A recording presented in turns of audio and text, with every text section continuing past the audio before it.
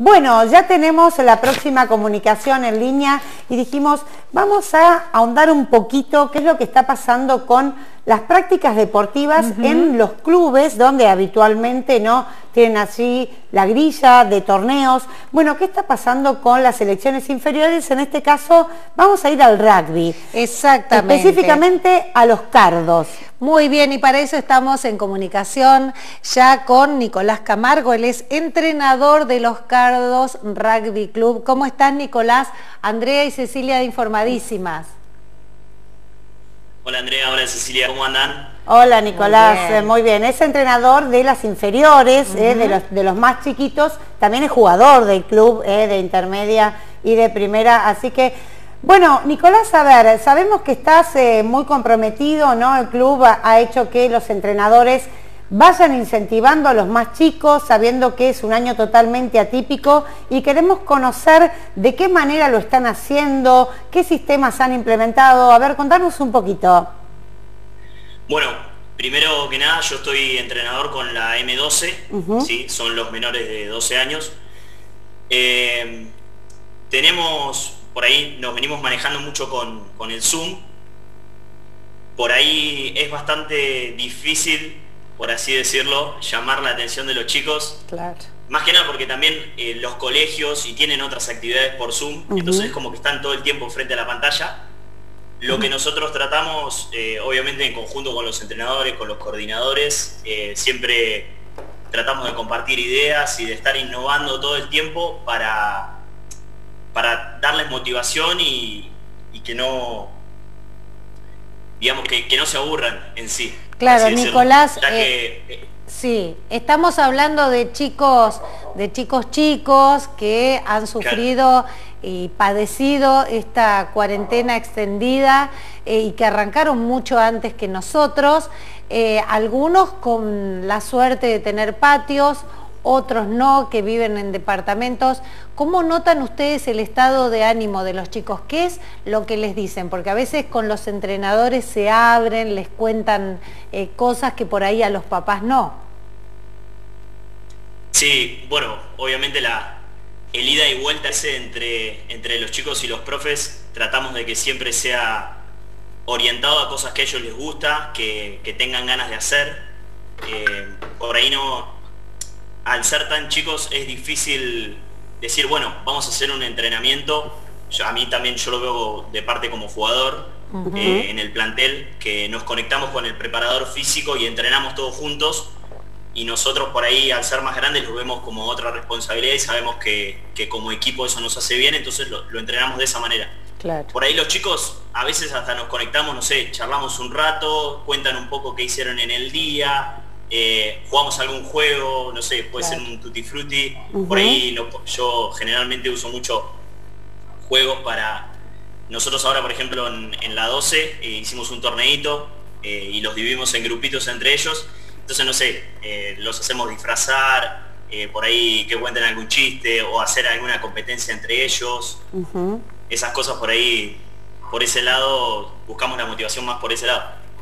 Claro. ¿Qué pasa con el tema físico, no? Porque también, a ver, Nicolás, hay una cuestión de que los chicos en casa están, como bien decías, más pegados a la pantalla, más sedentarios y sabemos que sobre todo el rugby es un entrenamiento en el que, bueno, por ahí si engordas un poco te ponen de pilar, pero, pero la verdad es que hay que estar medianamente en forma. ¿Qué ha pasado con los chicos? ¿Se han tirado más, más a chanta? ¿Cómo, ¿Cómo hacen el ejercicio a través de Zoom? Bueno, eh, nosotros, por ejemplo, hablo de, mi categoría en sí. Eh, siempre les pasamos algún, algún ejercicio o actividad para que hagan en casa, cuando ellos quieran. No, no en sí los obligamos a un horario específico. Pero eh, sí, por ejemplo, en otras categorías más grandes, ya lo que es juveniles, de 14, de 14 15, 16, 17, sí están, están entrenando por su cuenta y también con los entrenadores. Este, así que en, todo lo que es preparación física están, están muy bien entrenados. Incluso también los chicos de plantel. En estas llamadas... pasando un, buen entrenamiento. Nicolás, en estas llamadas que hacen por Zoom, ¿de a cuántos jugadores eh, se van preparando este encuentro? Y se vienen manejando, o sea, va variando mucho. Eh, hay días, por ejemplo, que, que generalmente se les superpone con, otra actividad, por ahí extracurricular, digamos un inglés, un, o otro Zoom con otros amigos, ponele, pero generalmente hay, hay, un buen número de chicos, por suerte. Qué bueno. Eh, ¿Hay alguna modificación o algo que ha establecido la Unión de Rugby de Mar del Plata, de la cual, bueno, aquí depende también este Tandil? Eh, ¿Se proyecta algo para este año? ¿Es un año perdido? Contanos también acerca de eso. Bueno, la verdad es que muy no, conozco mucho a, futuro sobre qué va a pasar con el tema. Sí, en infantiles eh, se va a empezar a trabajar este fin de semana. La Unión estaba organizando encuentros virtuales con otros clubes. Este, creo que este fin de semana nos toca contra Puerredón.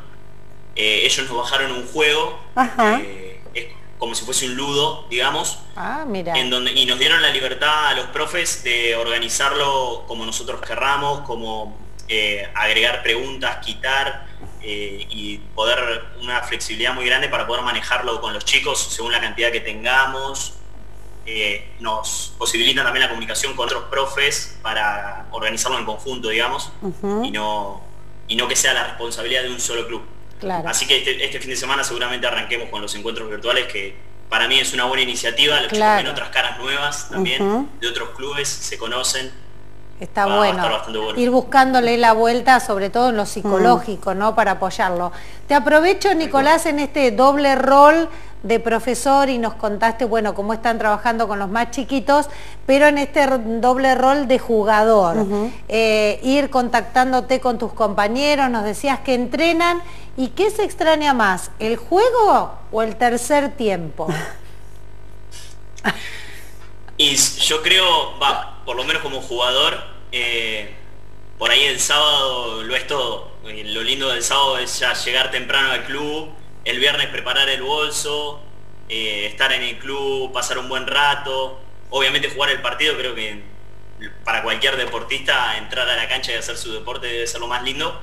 Y lo lindo que tiene el rugby después, yo por lo menos en la Unión tengo un montón de amigos en otros clubes, compartir una comida y charlar, claro. Así que sería el día completo, digamos. El sábado, el sábado es lo que más extraño. Claro, y ya a nivel todo lo que tiene que ver con el rugby, bueno, a nivel competición internacional, también tenemos entendido que la World Rugby, bueno, está presentando algunos protocolos, ¿no? Porque es un, a ver, es un deporte netamente de contacto, uno piensa en el scrum, piensa, bueno, de tomar, eh, van a tomar agua, van, o sea, hay ahí una problemática grande. Ustedes lo dialogan también con sus compañeros, el hecho de decir, viste que acá somos como todos técnicos, ¿no? Tendríamos que jugar de esta manera, entrar tantos a la cancha, no sé, dividirnos en el vestuario. ¿También se charla de esto?